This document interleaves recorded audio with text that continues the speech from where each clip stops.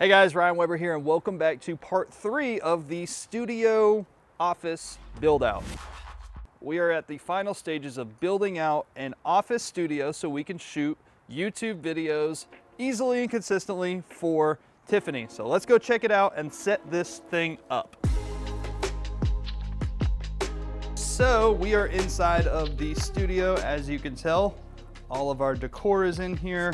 Our main setup is gonna be this couch facing this way. We're gonna have one setup. I originally wanted two setups. I wanted to have one on this and one on that. And then after kind of looking at everything, we just need one really good clean setup for her to click record. And if she's gonna need a different setup, she's probably gonna have us come over to make it look nice. So we want her to have that one really good setup so that she doesn't have to think about anything when she is getting ready to film. So our equipment that we are going to use. First thing we have on this light stand it has wheels. We like this light stand because it's super simple to move around. But this is gonna be our background light. We have the Godox VL 300. We have the lantern China ball. This is gonna be able to put off a good amount of light and it's gonna be really soft. It's also gonna serve as a hair light for her as well, kind of a fill. So moving over here, our other light, which is our key light, is this Falcon Eyes. I'm gonna read it off because it's got a bunch of letters. The RX24 TDX. I like it. Big panel.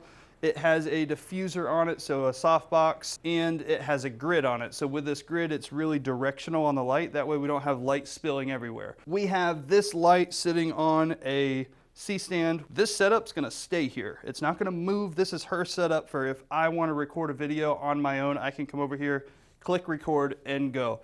Everything's gonna be built out on this stand. So she turns on the light, she turns on the light, and she turns on the camera and presses record. We're trying to make it as simple as possible. The audio's already on. Everything's set up for her to press record, which we can get to. The camera we're using, Canon C200. This was our C cam, so this is our third camera. We use Sony for everything else, so this doesn't really fit into what we're doing, but it's a really good C camera. It's her favorite camera, so she's getting a little nicer camera than most. She's gonna have a cinema camera as her normal setup. On the C200, we have the Sigma 18 to 35 f1.8. Awesome lens, wide angle, low aperture. This is the lens I recommend for this camera for pretty much anything. Moving from that, all we have is our microphone. We're using an XLR microphone. The reason we're using XLR is because it has a higher quality sound and the Canon C200 has an XLR input. So an XLR mic, we have the Sennheiser MKH-P48. Very expensive microphone. However, you can use this microphone, not do any audio processing, and it sounds really good. So it's gonna allow her to record so quick and so fast and not have to worry about how it sounds. It's gonna sound great because we're inside. We have the microphone on a Manfrotto uh, Magic Arm. Really what this does is it allows us to get an extension pole from this light stand, XLR cable, and a couple arms to hold our camera. So let's go ahead and get this rigged up and then we can show you what it looks like. This is the top of a tripod from an old tripod that we don't use anymore. So we're gonna actually use this as like sitting in here so it can be an all-in-one stand.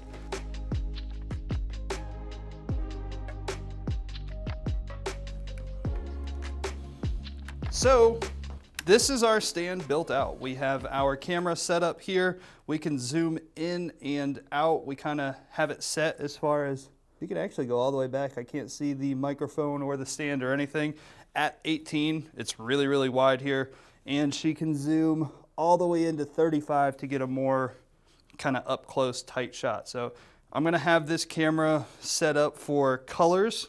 That way it shoots a really nice looking image directly out of the camera. There's no color grading, no editing that needs to happen other than cutting out words or, or anything like that. Same thing with audio. We're gonna set the audio level so it's completely fine. She doesn't have to do any post-processing and she can press record on this thing and it is done. So to start your video production, first thing you do, we shut off the overhead lights. We shut them off, it's gonna go black. And we turn on first our background light. So now that we have our background lit, we also have a practical over here, which is a nice warm lamp. that we put on. That's gonna kind of give her a little glow over here. It's gonna help show the tree off in the image. And finally, we'll turn on our key light. And it is directed exactly where she would be sitting in the middle of the couch. I like using these couches because it has a line in the middle and you know exactly where the middle is. And this right here is our final setup. So I have the camera for her height, so it's cutting off my head. She's uh, a foot shorter than me, so. So now we will swap over. We'll show you exactly how this camera looks and sounds directly out of the camera. We're not going to do any coloring. We're not going to do any processing of the audio. This is just what it looks like by pressing record on this video. And this is what the final setup looks like for the all-in-one light stand audio. This is the audio coming out of the Sennheiser mic here. This is the color and image coming out of the Canon C200 in front of us. And this is the look that we created with the background, the walls, the couch, everything in here was made for this to be a YouTube studio recording spot for Tiffany to record her YouTube and educational videos for her clients. The caveat, she still has an office in here to work and she still has a conference table for her to be able to conduct her business. So if you like videos like this, please comment below, let us know what you thought of it, and ask any questions you have because we'd love to help you guys out. Once again, my name is Ryan Webber, and I will see you guys in our next video.